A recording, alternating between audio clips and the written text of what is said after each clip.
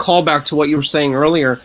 Like, I see a lot of people who thought they could not say things or like things on Google Plus or, or whatever.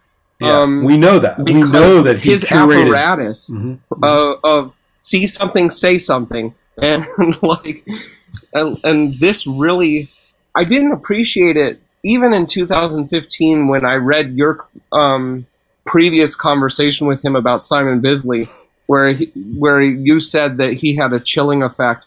I was like, uh, maybe, but then I, I saw it more and more especially among younger people than myself th- that I interacted with, that they that they really were chilled. Like just a few months ago, I talked to someone who knew Zak personally, um, played in in hangout games with him, and um, like was uh, previously kind of a defender and ardent supporter of his creative work and stuff, and was saying to me that they hate the way that Zak conducts himself online and cannot broach this with him, can't think of any possible way to broach this with them because then any possible thing they want to do in like even just blogging about role playing, they're He'll be out there the- chilling it out on other people. Right. yeah, Yeah, I was I had seen some of that in our interactions, particularly when you see, like I said, we started or seemed to start in this kind of friendly way. hmm Um, and then uh, he would say weird shit, like about the forge that was just counterfactual. It's like, wait, Mhm. what? You know, what? What are you talking about? Yeah. And um, and that would crop up. But what really did it for me was the anecdote that I told you when he challenged me about sorcerer and its in the moment mechanics. We interacted with it by screen about it by screen and that's the moment that I told you about when he said something insane. He said, Well, you know, you can't tell me about this because I know the game. And I was kind of Mhm. like, Well, at the moment, you see, in retrospect, I'd love to look back and say, And I said, How can you? yeah, No, I, I was gobsmacked. I'm just like, you know, I have no way of coping with this because my mind is still on, hey, he's meeting by my screen. Hey, Mhm. he's willing to talk. Hey, Mhm. he's, you know, a thoughtful person if he's a little intense. You know, I've still got Mhm. all that going on, and he's saying something that's nonsense. hmm And He it just is completely, I mean, so at that point, I started to pay more attention. hmm And that's when I started picking up that he was actually telling people not to plus other people, hmm or that he would keep a record of who had plussed whom. And I was at that point, I was just like, wait a minute, you know what? How who does that? Of course, I'm an Mhm. idiot. I mean, I don't know that there are people who comb their circles like every day. You know, I don't know that there are people who care greatly about who's friended with whom. I've never checked anybody's friends. Yeah. Well, I saw him do that when he did that, like with the the whole thing. I don't know the the guy's last name. John's. It's it's a Greek last name. Stavropoulos, ST. I imagine. Yeah. Yeah. Like, um, the, the, um, John Stavropoulos had done sort of an investigation in accusations against Jim Despero I remember that. And- yeah. and Zak um, said came out and said, "Look, people have independently looked at this and found it unfounded. So if you plus this accusation against him, go back and unplus it." And I saw that, and I thought, I see people getting angry about this, but he, like, he doesn't have power over them. Like, like it doesn't. right. I just didn't see it as a as the threat that it really became. well, you and I probably just, and I feel this. I feel for you because I can't imagine anybody obeying. yeah, yeah. Right. I mean, it just seems impossible until I actually saw my pluses boom and then diminish on posts. hmm And then uh, that was in the Bisley one. Again, uh, in our emails, I mentioned to you what I didn't mention in the other video, which is that, and this is this is what really killed it for me, just killed it, was uh, the fact that he edited his first inquiry to me, Yeah. um, which again, as I mentioned to you, is just so weak. Who would imagine? Who would imagine that anybody in social media today would instigate a conversation, which in this case was very, very productive and you know vile and Mhm. vicious on his part, the way he jumped in and talked to me, and um, then when you've responded, in my opinion, fairly rationally, but you know ready for it. yeah. Yeah. And then even that, when he revises it to us, so Ron, why do you say that? Yeah. Yeah. Then he, re- then even that response, which looked like the more rational response, looks crazy. Yeah, You know? I caught him doing that um, in the conversation between me and Jim Raggi and uh, Ramanan S. Right. Um, and uh, he, uh, I tried to, I assumed good faith. I said, I, I didn't realize when I was responding that you were still revising your previous comment. God, you're But- apologizing for him doing that. Isn't that crazy? yeah, but I thought I thought that he was trying to clarify his thoughts, but in hindsight, and especially in relation to your comment, it's obvious that he was um, trying to recast. But but the problem with that is he, I maybe this is individually specific, but whenever somebody comments on a thread I've commented in on Google Plus, I get an email that says their comment. So if they change Oh, right. it, Yeah.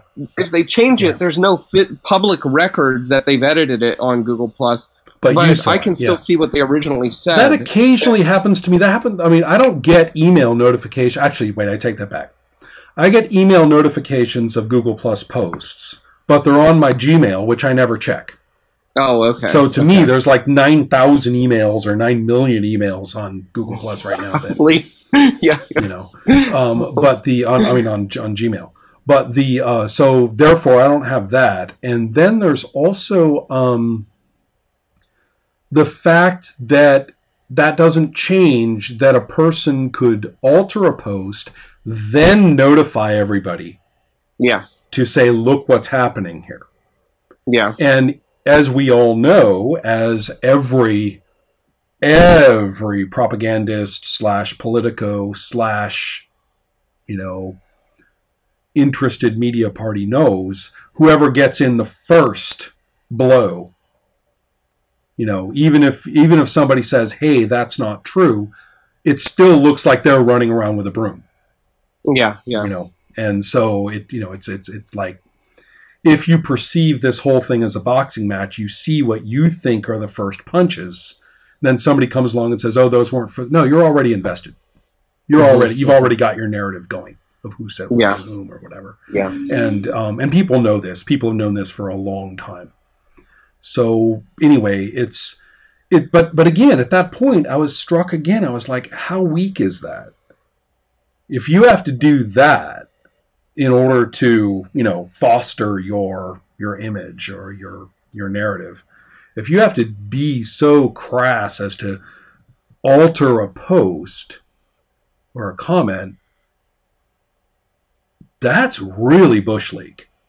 Mhm. You know, it's it's it's not even, you know, low grade intellectual. It's like I can't compete intellectually, so I have to pull tricks. I have to go with crowd psychology. I have to go with propaganda because I cannot actually hold my own if the person doesn't back down and submit immediately. And at that point, I started to pay real attention. I was like, since when does he ever actually made a point that wasn't easy?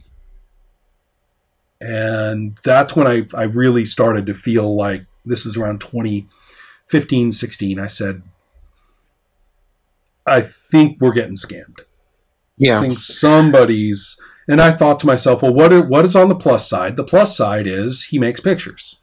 And I thought a little bit more, and you're talking about somebody who's embedded in comics.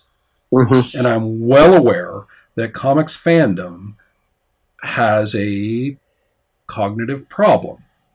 They think that if you can make pictures, that is in and of itself evidence and support for who knows what bevy of other virtues. Okay. Right. I mean, you that's that's it. I mean, you make pictures, so you've already got sort of your big leg up in any discussion of anything. Um, Ramanan linked to the public thread where it came up where he he called you a harasser, and I was like, I never read that one. I- yeah. yeah, oh, Everyone, okay. everyone Well- seems. I only say that because everybody seems to have. so Well, he's he um Zak was going down a list of harassers who who um support each other on Patreon and and are all um they're all buddy buddy connected, with each man. other. All And then he all of them. he mentions you, and I'm like, I have known Ron to be one of the most intellectually honest and transparent people in online discussions. Well, I appreciate that. Personally, I think that's more a matter of incompetence at doing anything else. But you know, Well, for what it's worth. I I I always looked at your the rules that you had on the Adept Press forum as sort of a good standard for online discussion, is which we treat people with real respect, not fake internet Mhm. respect, Sir, and we yeah. we treat ideas with ruthless critical like uh, rigor, Mhm. and and uh, I think that's a great standard. Um, anyway, he he he called you out as a harasser. I knew he keeps screenshots of everything that he doesn't like. So I said, "What is the what's the roots of this, Zak?" I and I shouldn't have gotten into it with him because it's it, it seems so transparently ridiculous to me. But he he provided the link to the Simon Bisley thread, and even that I was like, "That's not harassment." yeah, I think Ramanan had the same thing too. Ramanan was scratching his head over that one. yeah. yeah. Well, and and so and so did Jim Raggi, Mhm. and that's why he created a private thread to talk to us about it to persuade us that you were really a harasser. And this this thread went on for a couple weeks. Oh my god! Um, I'm sorry. like I apologize for ever having instigated anything of the kind.